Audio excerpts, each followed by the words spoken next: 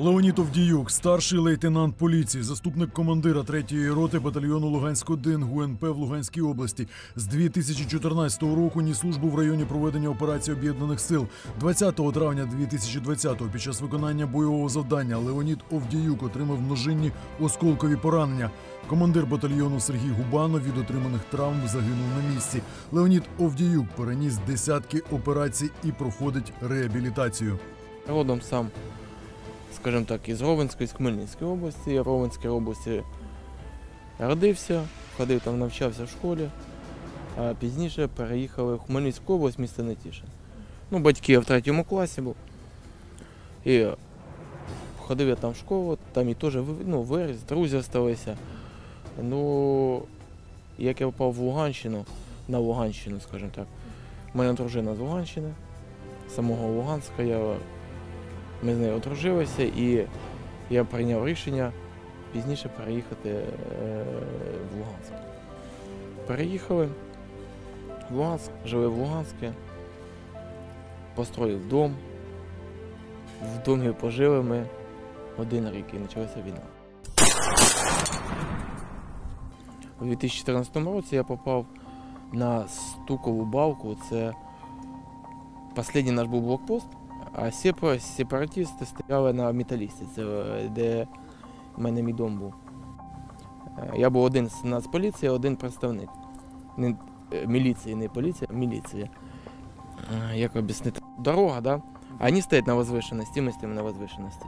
У нас стояла улітка, ну, бетонне сооружение, і стояли блоки в шахматному порядку розкидані. І був ще тоді зелений коридор, де знаходився в місті щастя. І люди, які приїжджали з Луганська, їхали по прямой, до нас на щастя. Треба було ці машини досматривати. Ну, досматриваємо яким способом? Тобто ти вибігаєш з улітки, ложишся під бетонну плиту, і напарник ложиться слева. Ну, хто-то з військовослужбовців. І ми починаємо, машина тормозить, і люди починають відкривати двері, капоти. Ти питаєшся подивитись, але не висовуєшся, не висовуєшся з, з бетонної плити. Люди підносять пакети, показують там. Потім люди садяться в машину, від'їжджають метро 500, і там є водителя, які були супровождали, садилися за руль, щоб на наших позиціях не, не, ну, люди не дивилися. Люди опускали голову, їх завозили в щастя і дивилися, ну вже там фільтрували їх.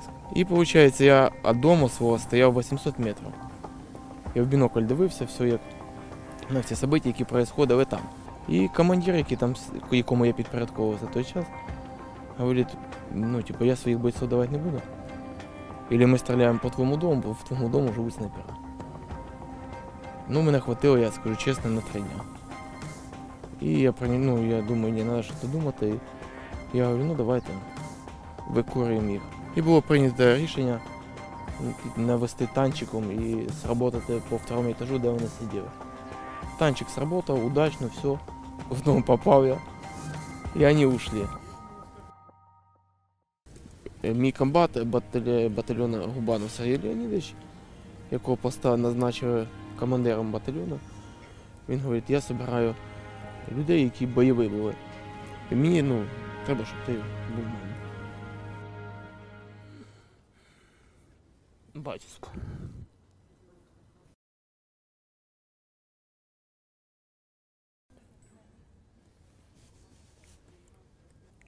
Він же мене, мене забрав.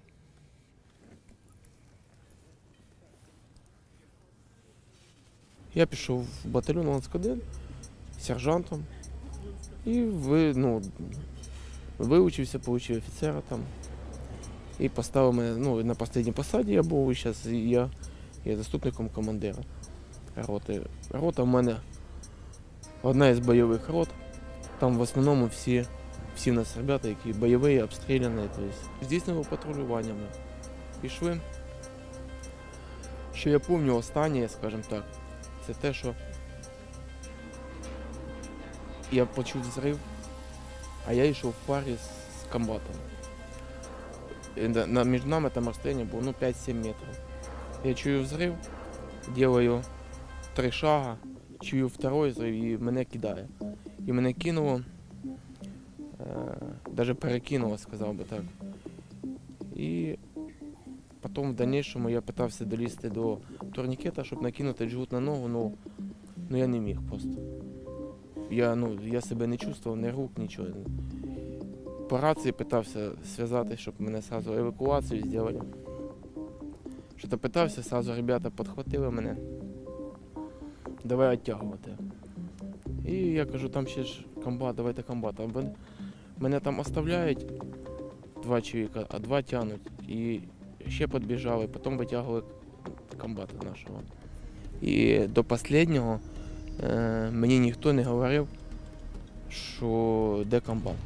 Тобто я узнав, 20 мая це случилось, я узнав це через два місяці.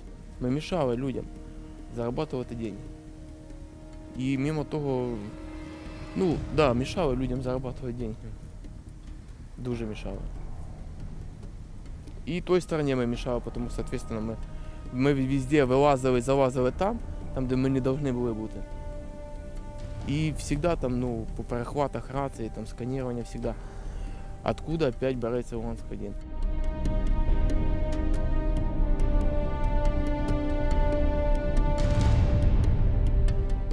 А Очутився в Києві. Ну, мені говорять, це Київ, реанімація. Стільки днів, я, я не знаю навіть на яке число там було все. Я в, я в комі пролежав е, 7 або 11 днів, я точно не можу сказати вам так точно. І це. Фізичний стан в мене був, ну, скажу чесно, ну, я навіть палець, пальцем не міг пошевелити. Ну, тобто для мене це було тяжко. Е, ну, після реанімації я попав в реабілітацію і от за два місяці в даний час я вже отак. Ранення я отримав і в шею, і в область живота. В живота, ну, в бока пішло, в ногу пішло. Ну, саме основне, що в шею багато пішло. Голосові зв'язки, горлянка була перебита, глотка, то есть. Е, Ну, воно все восстанавливается помаленьку. Хочу быстрее встать на ноги вже. Не встать, а ходить вже. Вставать я вже встаю помаленьку. На пару минут.